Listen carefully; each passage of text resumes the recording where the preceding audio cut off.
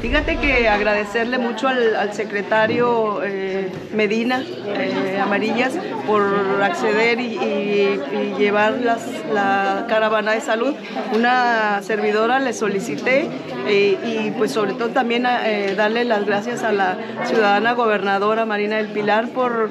tener esa empatía y esa rapidez que en dos semanas le habíamos solicitado de manera personal al, al, secretario Amarillas y accedió rápidamente de mandarnos a Primotapia una,